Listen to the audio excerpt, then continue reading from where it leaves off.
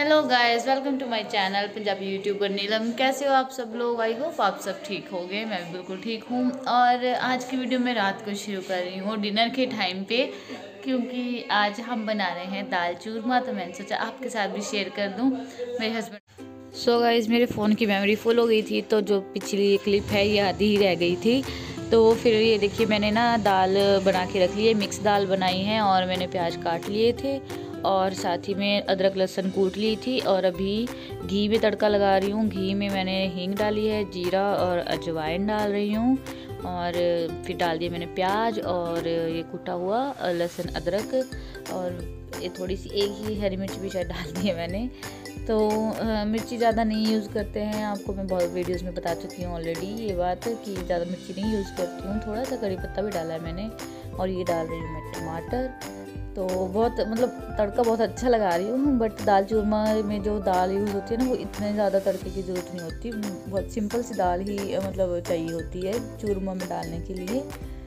और ये देखिए तड़का मेरा ऑलमोस्ट पक गया है, और इसमें ये थोड़ी सी लाल मिर्च डाल रही हूँ मैं। और इससे थोड़ा सा कलर भी आ जाएगा। वैसे ना लाल मिर्च बहुत आपने देखा है एक चुटकी भर ही डाली है बहुत कम डालते हैं हम और वैसे भी ये घर पे पीसी हुई है तो इतनी सी भी बहुत तेज़ हो जाती है।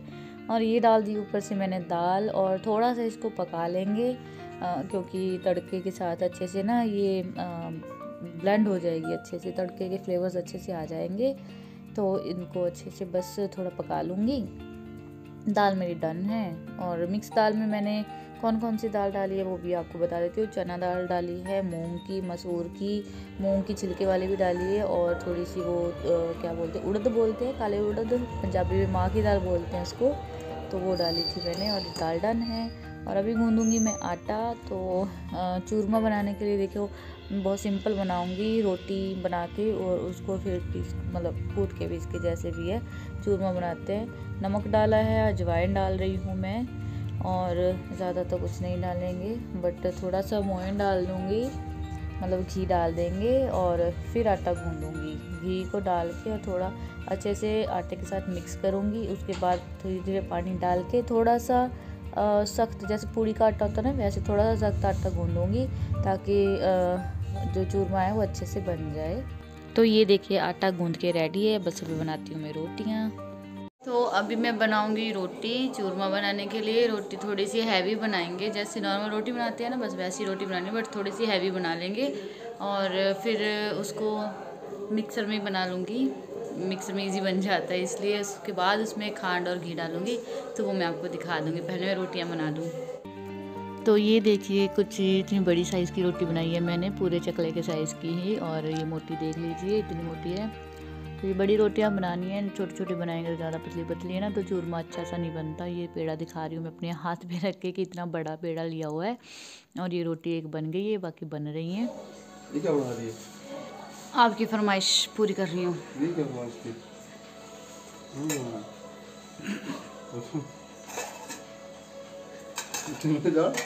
अच्छा आज तो वो क्या और नीलम क्या बना रही है? वीडियो बनाया था। वीडियो बताया था। अच्छा। और अभी आप आए आपको बताया तो भी मैंने वीडियो बनाई है।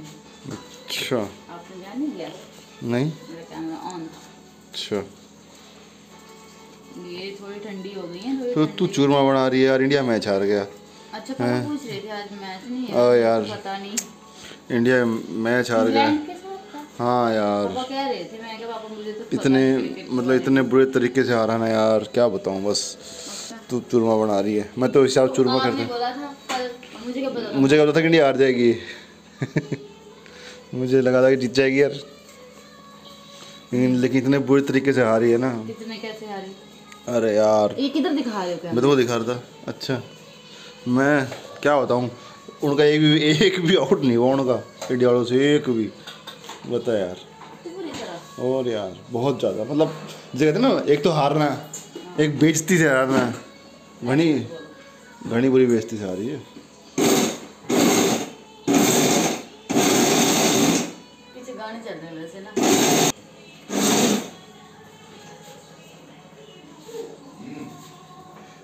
विलम हम्म, बस। और इसमें ना हाँ बनता तो नहीं है लेकिन हाँ, हाँ। खाने का मुझे तभी आता है ना।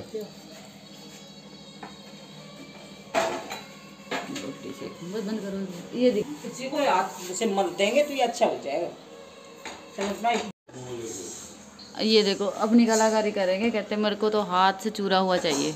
आते कपड़े भी नहीं चेंज किए अभी। बन जाएगी आज की तारीख में?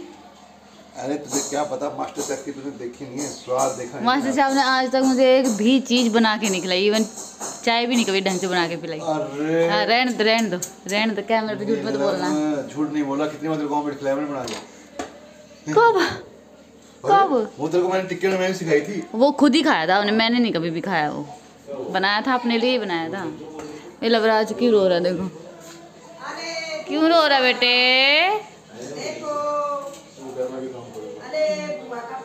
वो वो कह रहा मैं भी काम करूँगा. ये लो अपना चूरमा अलग से बना दिया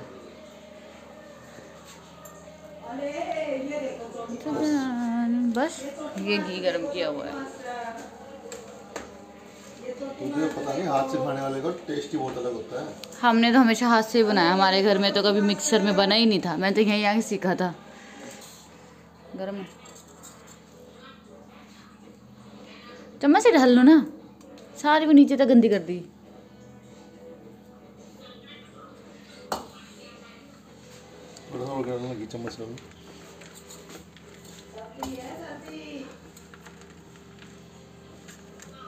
अच्छे से मिक्स करो घी तो वैसे काफ़ी है। साइडों से लो। इनका चूरमा देख लीजिए।